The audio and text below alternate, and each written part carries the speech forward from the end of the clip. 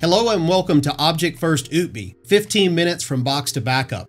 My name is Matt Price, Manager of Enablement here at Object First. I'm joined with Anthony Cusimano, our Director of Technical Product Marketing. So if you didn't watch episode one, be sure to check that video out on the playlist because that gives you a quick glimpse into what you're going to experience during the unboxing of Ootbi. So with this particular video, what we want to do is pick up where we left off and show you exactly how you configure your initial S3 cluster. So Anthony, what is it that we're looking at here on the screen? Well, we're looking at the text user interface right now, Matt. And the way you get here is if you are following that placard we talked about in the last video, you're going to either go through your DHCP and find the IP address of the box after you've connected it to your uh, larger network configuration, or if you're using a keyboard and mouse locally, you can connect directly through the hardware. And it is important to mention, once you have gotten to the connection screen, it's going to prompt you for a username and password. You will get that by pulling a tab on the front left side of the box. Hey there, hate to interrupt myself, but here I go. I just wanted to pop in and explain further that the pull tab, that actually contains the MAC address of the IPMI network card, as well as the password that you need to log in. The username for IPMI will always be admin in all caps. Now, after you power on Ootbi, you'll be greeted with a TUI, TUI, where you can accept the terms and conditions and begin your setup.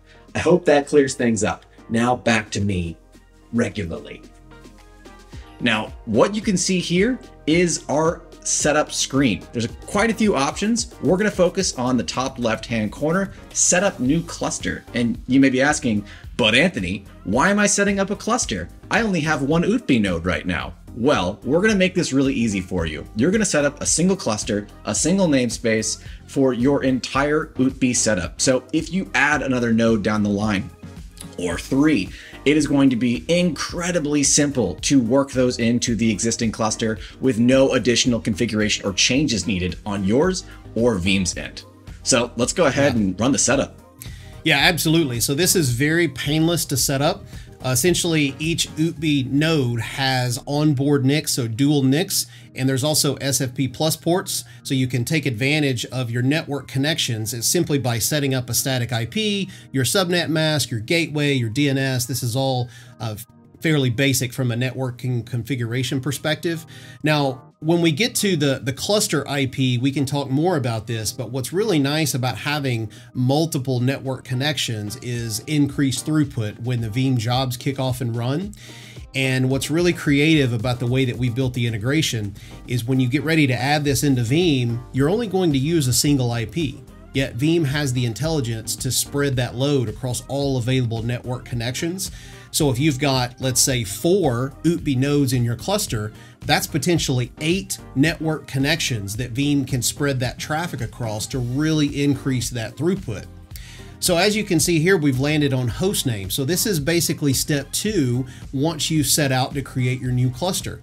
You're simply going to give it a name. And in this case, we had Ootbi. In case you guys didn't hear us, we're going to make sure we say Ootbi again and again and again. but Remember, Ootbi stands for out of the box immutability.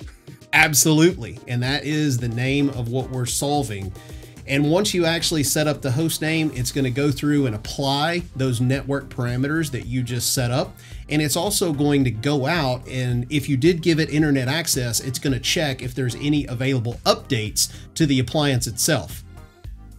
Now, I do want to mention here, as it goes through this update process, if at any time, either during your hardware configuration or the software install here, you run into any problems whatsoever, go to our website, objectfirst.com, click the support tab, and get in contact with customer support, and we will be more than happy to walk you through any trouble spots you might hit along the way. Absolutely, Anthony. And where we're at now, as we mentioned it earlier, here you're actually going to set up your cluster IP and you're also going to give it a cluster name. And this is good for identifiers once you log on to the web interface. It'll actually show you the cluster name. It'll show you, you know, everything about the node or multiple nodes such as disks, health, and things of the sort. So in this case, uh, coincidentally, we're using Ootbi again and we're going to give it a cluster IP. Now, as I mentioned earlier, this single IP is what you're going to use to add it into Veeam. You know, as a final step here, you're simply going to harden it with your own password so that you know you have an opportunity to really elevate that security. And this is going to be the cluster administrator password. And you're going to use this username and password in the next step, which we have an entire uh, separate video for, but I do want to call out this screen here. So as you can see, we've gone through the configuration, it's completed successfully, and you have a couple of different IP addresses on the screen. Now, like Matt mentioned earlier, the S3 endpoint, while the IP address is the same with the web UI address, they have different ports on the end. The endpoint is what we're going to use to connect and configure our backup repository to Veeam, and the web user uh, interface address is what we're going to connect to with that username and password you just set to go through our final steps of configuration for the Object First Ootbi node. Absolutely. And if you care to jot down the serial number and model number of your unit, that's also uh, coincidentally available for you right here on the screen. So one final thing, Anthony, before we wrap up is the ability to either enable or disable telemetry service. And what telemetry services enables us to do at Object First is if your Ootbi appliance ever suffers a critical event, such as a hardware or hard drive failure, support can be proactively notified of these events to expedite the shipment of replacement parts. So so if Ootbi does indeed have internet access, be sure to leave this turned on. Although if you do have Ootbi in a hardened environment with no outside internet access, you could disable this if you like. And with that, Anthony, the cluster's configured and we're ready to go. So, I think so. what's what's the next step?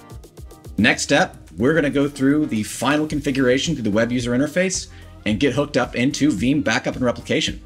Right on. So make sure you guys stay tuned, subscribe to the YouTube channel if you hadn't already.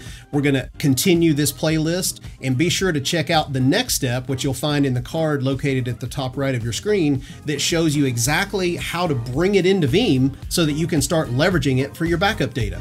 Thanks for tuning in and we'll see you on the next episode.